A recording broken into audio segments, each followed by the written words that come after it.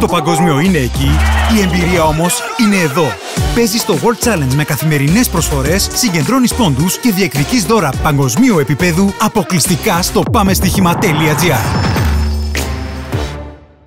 Το παγκόσμιο κύπελο στο Κατάρα αρχίζει να ζεσταίνεται μετά την uh, πρεμιέρα χθες, μια πρεμιέρα απογοήτευσης για την εθνική της διοργανώτριας χώρας, μια ημέρα αλεγρίας για την uh, ομάδα του Εκουαδόρ που έφυγε νικήτρια με τα δύο γκολ του Βαλένσια από τον εναρκτήριο αγώνα στην Αλκόρα.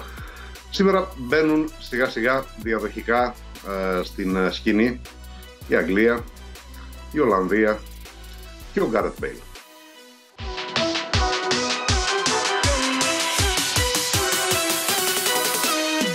πρόγραμμα της ημέρας αρχίζει με Αγγλία-Ιράν στις 3 μετά το μεσημέρι. Μια Αγγλία αρκετά μαγκωμένη, γιατί άσχετα τι έκανε στο προηγούμενο παγκόσμιο κύπελο του 18 στη Ρωσία που έφτασε ως τους ημιτελικούς και πέρυσι στο Ευρωπαϊκό Πρωτάθλημα όταν έχασε έναν τελικό στα πέναλτι, αυτήν την εποχή νιώθουν ότι δεν ε, τους παίρνει να ξανοιχτούν πολύ ε, σε προσδοκίες και ακόμη περισσότερο σε διακηρύξεις ε, πορείας ε, για μεγάλη ε, διάκριση. Ε, το Ιράν είναι η ασιατική ομάδα με το υψηλότερο ranking από κάθε άλλη σε αυτή την Ήπειρο. Ο Κάρλο Κεϊρό δεν ξέρω πώς θα καταφέρνει, αλλά κάθε φορά αυτός είναι ο προπονητής του Ιράν στα παγκόσμια κύπελα και λίγο πολύ καταλαβαίνουμε ότι Όση άμυνα μπορεί να παίξει, θα την παίξει και αν μπορεί να παίξει ακόμη περισσότερη, θα παίξει ακόμη ε, περισσότερη. Σημαίνει ότι θα προσπαθήσει να καταπνίξει, όχι απλώς να στηριχνώσει την επιθετική δραστηριότητα της Αγγλίας. Ε, απόντος του Ασμούν, που είναι η βασική επιθετική αναφορά του λόγω τραυματισμού, ε, θα καθίγοντα στο 9 τα παίρνει ο Καρύμ Μανζαριφάρντ σε ένα 4-3-3, στο οποίο θα έχει και τις βοήθειες από το πλάι του καλού σεντερφόρ της ε, Πόρτο, του Ταρεμί. Περιμένουμε ότι ο Χαζιζαφή θα είναι ο αρχηγός της ομάδας και ο βασικός αριστερός μπακ μπροστά από τον Μοχαμάντ, τον άλλο αριστερό μπακ της ΑΕΚ. Και η Αγγλία ε, σε ένα 3-4-3 με τον Κέιν και τους ε, δύο ε, πλάγιους, τον Σάκα και τον Στέρλινγκ, αλλά νομίζω ότι αυτός που περιμένει να βοηθήσει την Αγγλία περισσότερο από το να βοηθηθεί από την Αγγλία είναι ένας κατά τη γνώμη μου υποψήφιος για το βραβείο του κορυφαίου νέου ποδοσφαιριστή του τουρνά και αναφέρομαι στον Jude Bellingham. Ε, συμπερασματικά πάει το παιχνίδι προς μια πολύ close, πολύ στενή νίκη. ε, της Αγγλίας.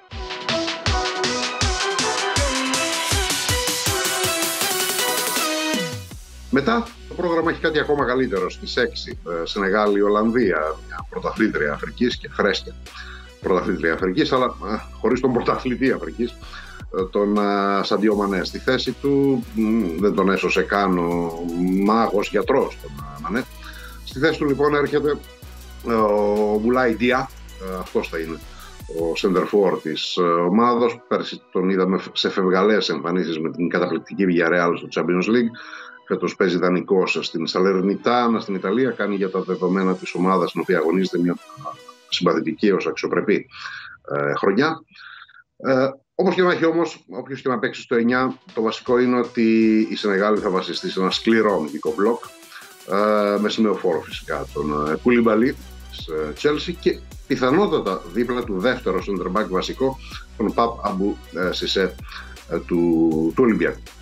Η Ολλανδία νιώθει να έχει επανέλθει η Άβρα, τον ε, ξύνο αλλά σπουδαίο ε, Φανχάλ και αυτή όμως, όπως η Σενεγάλη με τον ε, Μανέ, έχει το θέμα του τραυματισμού του Ντεπάι. Μπορεί να είναι λίγο υποτιμημένος ποδοσφαιριστής, αλλά μιλάμε για τον ποδοσφαιριστή που έχει βάλει 42 γκολ στην Εθνική Ολλανδίας και ο αμέσως επόμενος σε αυτό το γκρουπ που βρίσκεται εδώ στο Κατάρ έχει βάλει 9. 42 με 9. Καταλαβαίνει κανείς ότι είναι μια ε, σοβαρή απώλεια. Από ό,τι φαίνεται, Σεντερφόρ στην Ολλανδία θα παίξει ο Βίνσεντ Γιάνσεν που στην Adverb φέτος στο βελγικό πρωτάθλημα έχει ξαναβρει τη φόρμα του με 9 γκολ και 4 assist σε 12 συμμετοχές. Φαίνεται να έχει ένα μικρό προβάδισμα η Ολλανδία.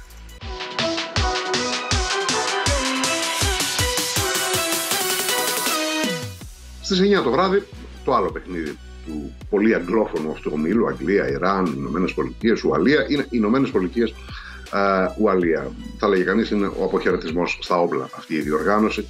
για τον Γκάρεθ Μπέιλ.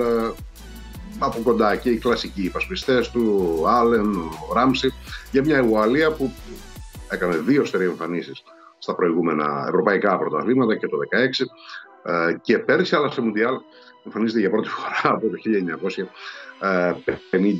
1958. Ε, είναι δύο νεανικά γκρουπ, οι Ηνωμένες Πολιτείες και η Ουαλία, που μπορούν να βγάλουν ε, τρελά τραξίματα. Ασχέτω αν αναφερθήκαμε προηγουμένως ε, σε ονόματα που είναι πολλά χρόνια στην Εθνική Ουαλία, σε τρεις που ανέφερα, ο Μπεν Ντέιβι που παίζει αριστερό στόπερ, της Τότενα, ο Χένεση, ο τερματοφύλακας, παρά τα αυτά έχουν ένα αρκετά χαμηλό μέσο όρο.